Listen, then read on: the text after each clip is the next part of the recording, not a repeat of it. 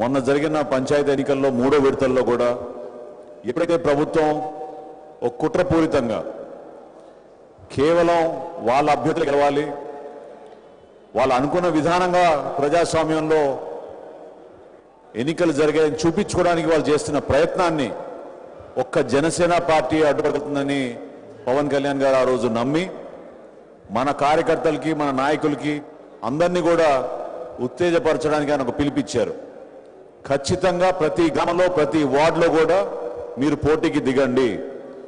మనం ప్రజాస్వామ్యబద్ధంగా మన గ్రామంలో సమస్యల గురించి మన వంతు మనం కృషి చేద్దాం పరిష్కార మార్గంలో ముందు తీసుకెళ్దాం.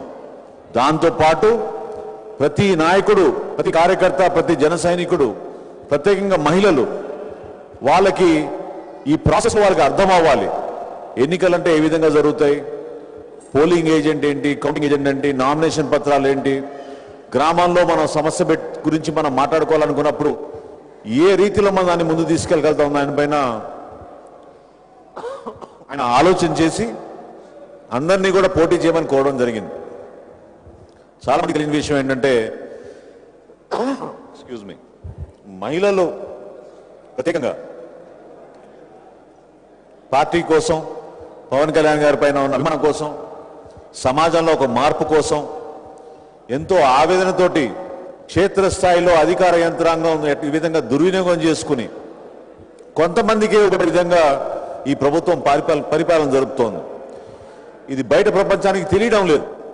చాలా రోజుల నుంచి నివార్ తుఫాన్ అప్పుడు పవన్ కళ్యాణ్ గారు నాలుగు జిల్లాల పైన సందర్భంగా రైతాంగం రోడ్డు పైన వచ్చి హైవేల్లో అడ్డుకొని ఆయన కార్ని మరి పంట నష్టం ఏ విధంగా జరిగిందో వాళ్ళ కల్లారా చూపించారు.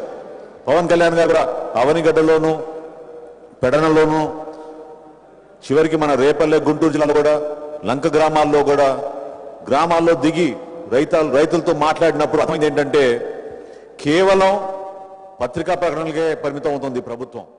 సరైన రీతిలో స్పందించడం లేదు. మభ్యపెడుతున్నారు. రకరకాల కార్యక్రమాలు చేస్తున్నామని చెప్తున్నారు కానీ సమాజం మొత్తానికి చేయడం లేదు. కేవలం కొంతమందికి లబ్ధి కలుగుతోంది. ఇంతకుముందు మరి పామర్లో ఏ విధంగా జరిగిందో మన దృష్టికి తీసుకొచ్చారు. లంక గ్రామాల్లో గతంలో నేను నివార్ తుఫాన్ కన్నా ముందు మనం వరదలు వచ్చినప్పుడు పెసర్లకి అదేవిధంగా చిలుమూరు ఈ ప్రాంతంలో పర్యటించినప్పుడు ఇదే విషయం వాళ్ళు చెప్పారు. వరదలు వారమైనా వారం అయినా కూడా అధికారులు ఎవరు కూడా క్షేత్ర స్థాయిలో పర్యటించడం లేదు. ఎవరు నమోదు చేసుకోవడం లేదు. దేనికోసం ఈ గ్రామ కార్యాలయాలు? దేనికోసం ఈ వాలంటీర్లు? ఇప్పుడు మనకు అర్థమవుతుంది దేనికోసం ఈ వాలంటీర్ వ్యవస్థను ఉపయోగిస్తున్నారు. కేవలం వాళ్ళ రాజకీయ లబ్ధి కోసం వైఎస్ఆర్సీపీకి ఓట్లు పడే విధంగా జగన్మోహన్ రెడ్డి గారి పేరు చెప్పుకుని నూట యాభై ఒక్క సీట్లు చాలా మొత్తం నూట డెబ్బై ఐదు సీట్లు మాకు వచ్చేటట్టు మేము పనిచేసుకుంటామనే ఉద్దేశంతో ఈ గ్రామ స్థాయిలో జరుగుతున్న ఈ వాలంటీర్ల వ్యవస్థ తప్ప ప్రజానికాని కోసం కాదు సమాజానికి కోసం కాదు. మిమ్మల్ని అందరినీ కూడా నేను గర్వ గర్వంతో చెప్తున్నాను. ఈ రోజు మనందరం గ్రామ స్థాయిలో కార్యాలయాల్లోకి అడుగు పెట్టాం. రాబోయే రోజుల్లో జనసేన పార్టీ రాష్ట్ర స్థాయిలో సెక్రటరియట్లో మనం అడగబెట్టబోతున్నాం ఆ విధంగా ఆ విధంగా మనం పనిచేసుకోవాలి. నాయకత్వం లేదు చాలా మంది అనుకున్నారు. కానీ మీలోనే ఉంది ఆ నాయకత్వం. నాయకత్వం మనం కోరుకుంటే రాదు. ప్రజలు మన అభిన అభిమానించాలి. ప్రజలు మనని కోరుకోవాలి. మనం వాళ్ళ తరఫున నిలబడాలి. అప్పుడే నిజమైన నాయకత్వం బయట బయటకు వస్తుంది. పవన్ కళ్యాణ్ గారు నన్ను గుర్తించారు నియోజకవర్గానికి నాకు ఇన్ఛార్జికి ఇచ్చారు. కాబట్టి నేనే అక్కడ మహారాజుని అనుకుంటే సరిపోదు. కష్టపడాలి. మనతో పాటు మన మండల స్థాయిలో ఉన్న నాయకులు జిల్లా స్థాయిలో ఉన్న నాయకుల్ని కలుపుకొని క్షేత్రస్థాయిలో గ్రామాల్లో మనం పర్యటించాలి. గ్రామ కమిటీలు ఏ విధంగా ఏర్పాటు చేసుకోవాలి పార్టీ బలోపేతానికి ఏ విధంగా మనం కృషి చేయాలి ఇటువంటి అంశాలపైన మీరు మాట్లాడుకొని ఇంకా మీరు సంఘటన అవ్వాలి కానీ మనం ఏదో అప్పుడప్పుడు మీటింగ్ల కోసం మనం పరిమితమై అద్భుతంగా జరిగిపోయిందంటే చాలదు. ఎందుకంటే ప్రతి గ్రామం వెనుక మనం ఈరోజు ఒక వార్డు గెలిచినా ఒక సర్పంచ్ గెలిచినా ఒక ఉప సర్పంచ్ గెలిచినా దాని వెనుక చాలా కష్టాజితం ఉంది. చాలామంది పాపం వాళ్ళ ఇళ్ళ బయటికి మొట్టమొదటిసారిగా వచ్చారు. మహిళలు ప్రత్యేకంగా అద్భుతంగా మరి ఒక సిద్ధాంతాన్ని నమ్మి ఒక ఆశతోటి భవిష్యత్తులో మనం ఒక మార్పు తీసుకొద్దాం మన మనం కృషి చేద్దాం ముందుకు వచ్చారు. వీటన్నిటికన్నా ముఖ్యమైన అంశం ఏంటంటే పవన్ కళ్యాణ్ గారి భావాజాలం నమ్మారు.